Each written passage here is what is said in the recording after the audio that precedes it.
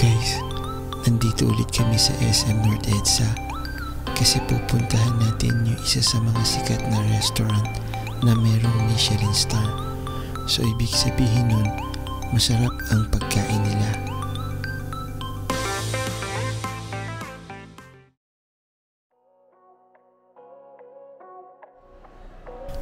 So guys, nandito kami ngayon sa Team Hoan.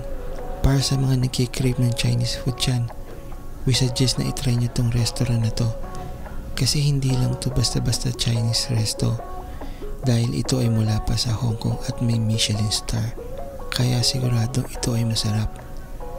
Kaya dyan lang kayo at ipapakita namin sa inyo kung ano bang madalas naming i-order o kainin dito. Kaya tara, samahan nyo kami sa video na to.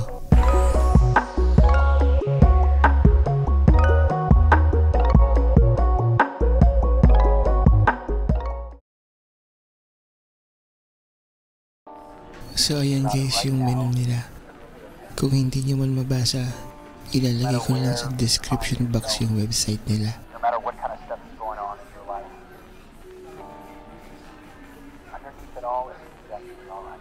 At umpisa na natin ang pag-order. Ang unahin natin ay yung vermicelli roll with shrimp.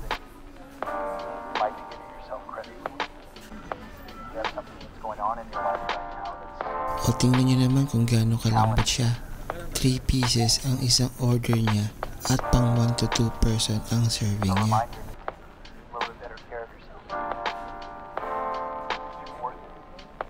Hindi ko alam kung ano pang ibang pinalaman sa kanya pero ramdam mo talaga yung sarap at lilamlam ng hipo niya.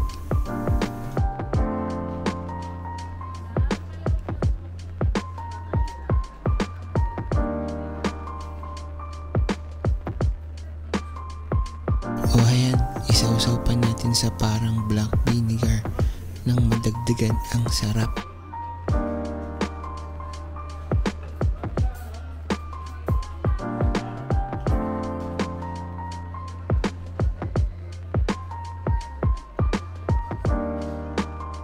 Ang lambot niya at ang sarap niya talaga. Ang fresh din niya sa panlasa, kaya favorite namin ito guys.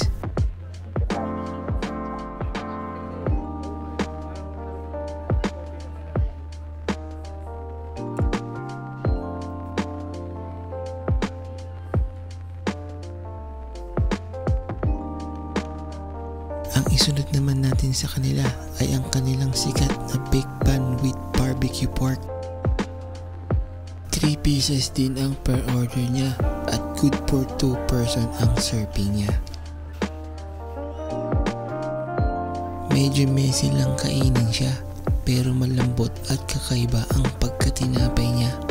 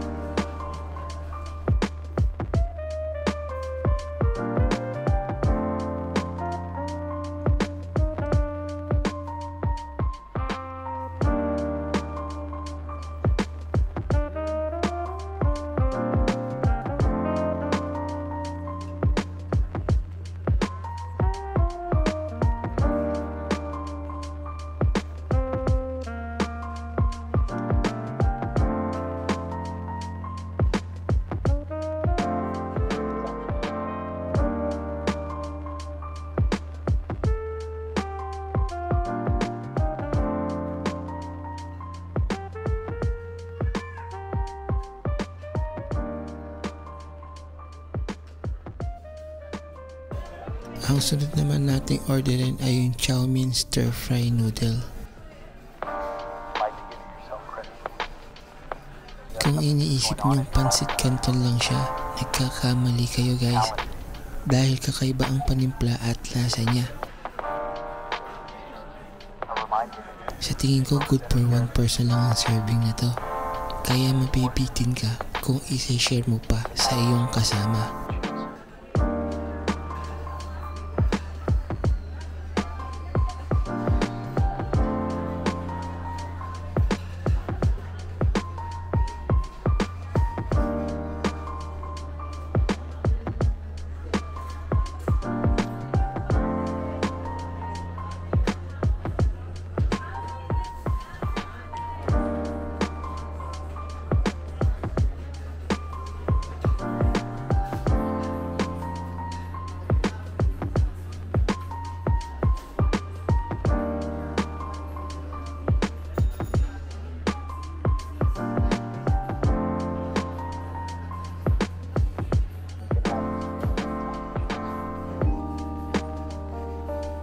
Ito naman ang isunod natin guys, ang bean curd skin roll with pork and shrimp.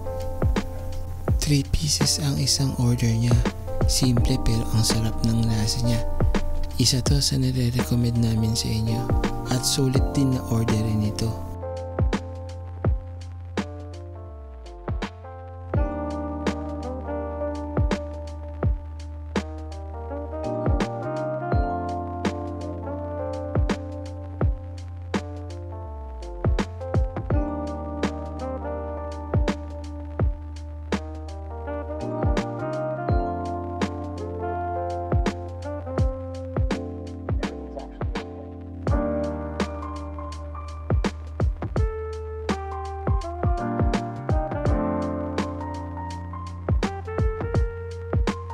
At para sa mga mahilig mag-adidas, isunod natin ang braised chicken feet with abalone sauce.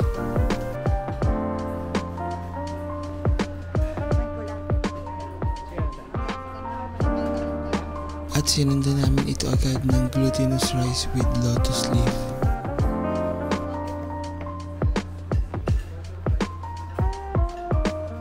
Nang dahil sa lotus leaf, nag-iba ang lasa at aroma niya. Pork and Chinese sausage ang palaman niya. Perfect na perfect ang combination niya.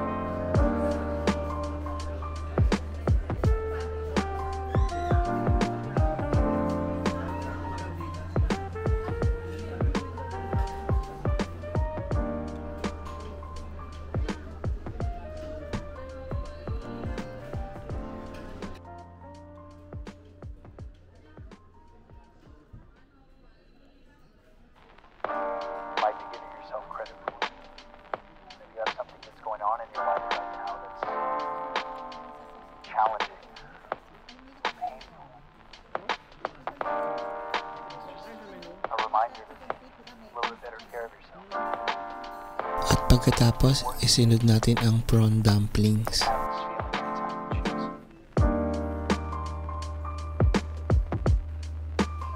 Four pieces ang isang order niya at kulang sa isang tao ang serving niya. Kasi naman talaga siyang masarap.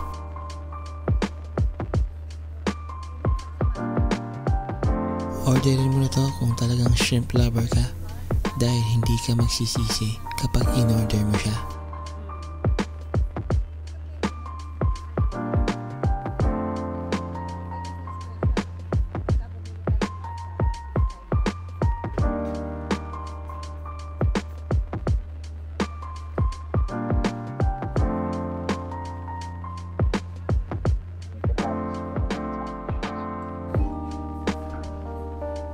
Sinundan namin sa pag-order ng beef brisket tendon noodle soup na mayroong napakalambot na meat at fresh na leafy greens.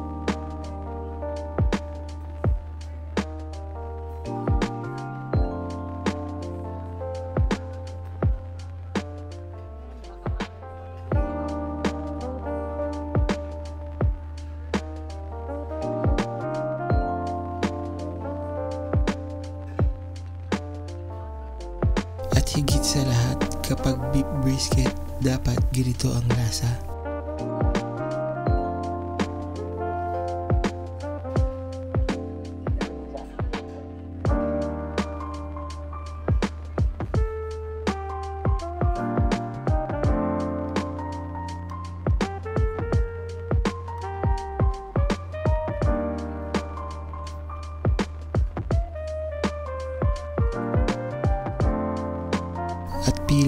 Panghuli, jasmine tea ang napili naming inumin.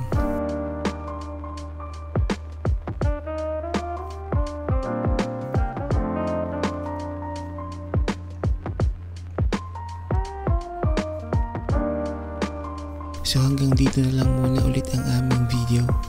Maraming salamat muli sa inyong panonood at kita-kits na lang uli sa next video.